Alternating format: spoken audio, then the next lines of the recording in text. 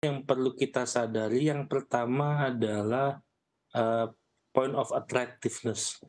Karena attractiveness ini sangat penting dalam kaitannya dengan uh, antara ya untuk memastikan likuiditasnya ini bertahan atau tidak. Jadi ada supply, ada demand. Nah, ini yang mungkin kita perlu lihat adalah berdasarkan data statistik ekonomi dan keuangan Indonesia dari Bank Indonesia per November 2022 rata-rata suku bunga tertimbang di bank umum untuk simpanan berjangka USD dengan jangka waktu tiga bulan itu adalah sebesar 2,41 persen dan untuk enam bulan itu hanya sebesar 1,94 persen. Kita bandingkan dengan Singapura, tingkat suku bunga simpanan berjangka USD dengan jangka waktu yang sama itu bisa mencapai 4 sampai 5 persen. Jadi memang attractiveness dari Singapura untuk bagaimana uh, simpanan atau deposit dalam bentuk USD ini uh, lebih menarik daripada Indonesia dan ini mungkin per, uh, adalah sesuatu yang perlu kita uh, cari solusinya bersama. Merujuk kepada apa yang dilakukan oleh pemerintah, kita yang kita pahami memang uh, ada dua hal yang jelaskan uh, otoritas, terutama BI memberikan uh, insentif tadi ya simpanan itu sendiri. Uh, memang ini sudah memberikan dampak ya, karena kita melihat dari posisi DHE-nya ini ber, bertambah nih. Tapi memang seperti disampaikan tadi, ini uh, kami melihat atau mungkin ini pendapat pribadi saya ini sangat cyclical uh, dan jangka pendek yang pertama. Karena yang ini berhubungan dengan uh, windfall profit dari commodity boom yang kita rasakan selama 2021-2022 di mana surplus neraca perdagangan kita ini positif kan untuk uh, beberapa minggu itu. Dengan uh, terutama juga akhirnya yang membuat kita ini uh, cukup kuat, cukup aman uh, dan juga membantu untuk berkontribusi kepada GDP 2022 ini sekitar 24,5 persen pertumbuhan GDP ini dikontribusikan oleh uh, ekspor itu sendiri. Tapi yang kita harus pahami ini dari akhir tahun 2022 sampai dengan Februari ini mungkin last week data ya kita melihat ada penurunan sudah terlihat Baik. ada penurunan harga komoditas. Batu bara akhir tahun 2022 saya quote sekitar 440 US dollar per uh, ton metrik. Di 6 Februari saya pernah lihat sekitar 200 sampai 120 jadi udah turun 30 sampai 50 persen.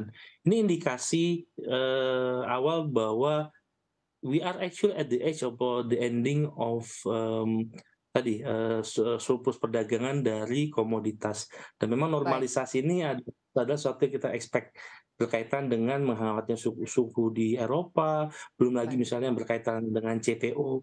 Kalau misalnya Malaysia ada keterbatasan ketersediaan supply dari Malaysia, in, uh, mungkin CPO ini agak sedikit kita akan tertolong nih, walaupun di Eropa kita akan menghadapi UU anti deforestasinya yang akan menghambat ekspor kita ke Eropa. Tetapi dengan uh, recent policy untuk penerapan penangguhan 66% harga ekspor CPO untuk kebutuhan dalam negeri maupun ketidakpastian supply di Malaysia, harganya mungkin masih akan tetap kompetitif uh, di apa di, di di CPO. Tapi seperti saya sampaikan tadi, mungkin juga sudah dibahas di sesi sebelumnya bahwa potensi terbesar DHI itu long term project should be in manufacturing.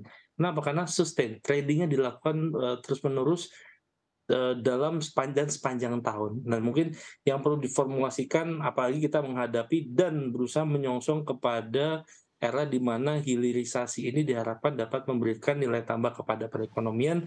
I think we have to think of a mechanism yang bisa mengattract bisnis untuk stay. Kalau poin pertama tadi saya melihat attractiveness, poin kedua ini juga kita harus melihat uh, mungkin perlu ada pendekatan sektoral mungkin kita bisa trial untuk industri-industri manufaktur yang sudah memberikan nilai tambah paling gampang baja. Nominal the ekspor baja itu sekarang rata-rata dan beberapa waktu itu pernah melebihi kontribusi dari ekspor kelapa sawit.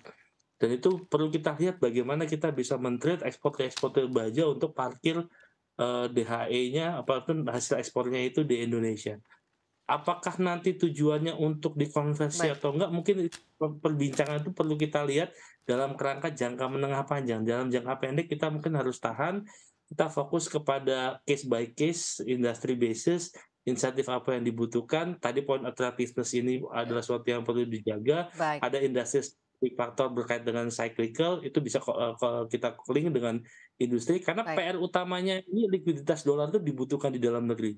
Supply-nya terbatas tapi demand-nya tinggi. Ini yang perlu kita coba carikan solusinya bersama seperti itu.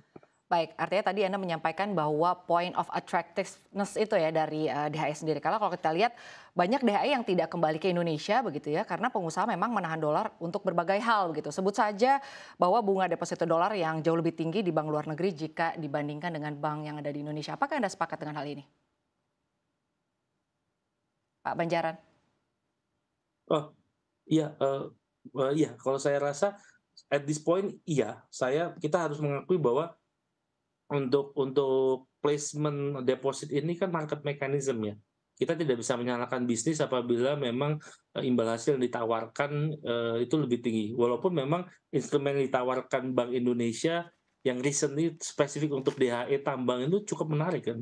Uh, karena dia bisa cukup kompetitif dibandingkan uh, apa tadi yang yang dari Singapura. Nah, apakah kasus seperti ini bisa kita contoh untuk industri lain, contohnya seperti industri baja jadi dengan kata lain, saya rasa uh, kita harus punya plan jangka pendek, menengah panjang, quick win-nya apa.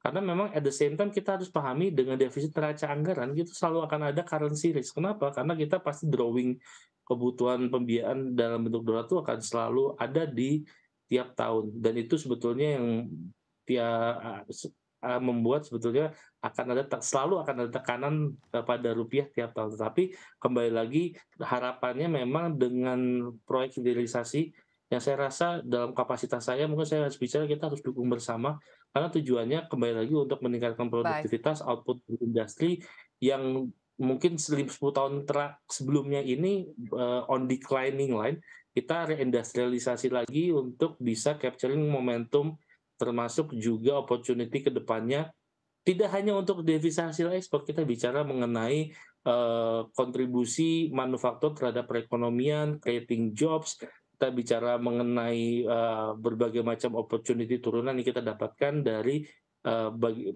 industri kita yang terkonek dengan supply chain global. Baik. Saya rasa kita harus punya visi untuk bisa Baik. melihat Indonesia ke depannya di 2045 insya Allah jadi negara maju. Baik.